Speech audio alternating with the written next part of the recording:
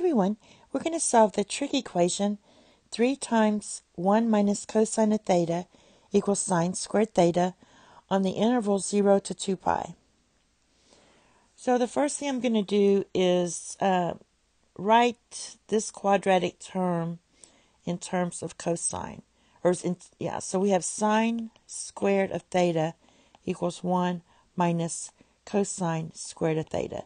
The reason I want to do that is we have a, a linear, uh, uh, cosine is linear here. And I can't change this. But I can change the sine squared to cosine.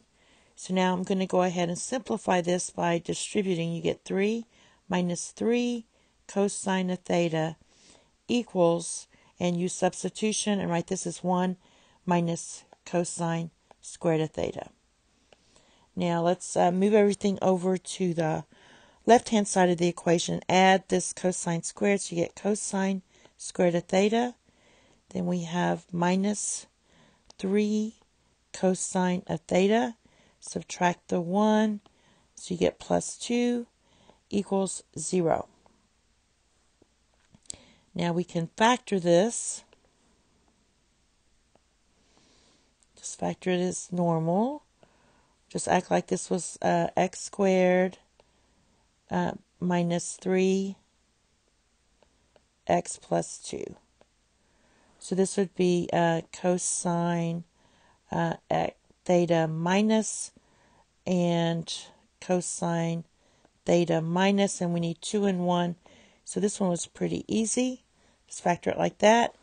And now we're going to uh, set each piece equal to 0. So we have cosine theta, add 1 to both sides equals 1. And we have cosine theta equals 2. Now we find where theta uh, cosine is 1. Cosine is 1 right here. So that means our angle is 0. We are not going to say 2 pi because it can't equal 2 pi.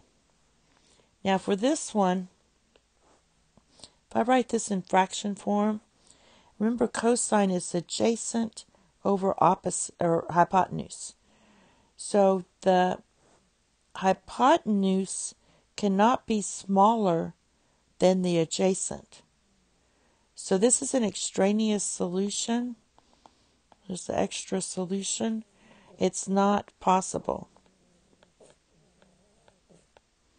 There's no way because it just doesn't work. So basically, our only solution is theta equals zero. Thank you. Have a nice day. Bye bye.